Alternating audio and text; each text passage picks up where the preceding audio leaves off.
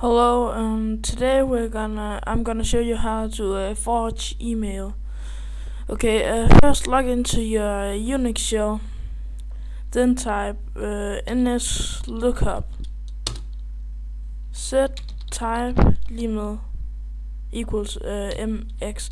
mx stands for mail exchange server.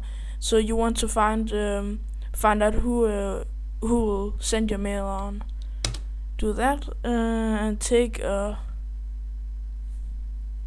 a, a host. For example, mail.dk.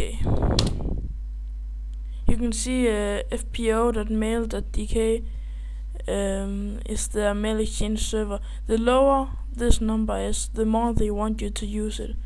Okay, so we go out of NSLookup, then we copy this and then telnet to the address on port 25.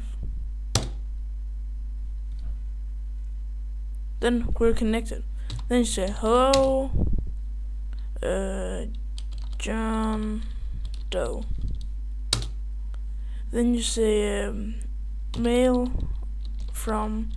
Uh, this is who you wanted to appear to come from. Let's say uh, test snapmail.dk uh, and then you say RCPT to recipient uh, who who you wanted to, to receive it say um, acme mail.dk and then you say type data and just uh, write with whatever you want you could uh, enter subject and then the subject of your message. For an example, uh, screwdriver juice. And then you can enter whatever you want. Hey man. And then uh, with a period at the end of the message on a new line. Then your mail has been sent.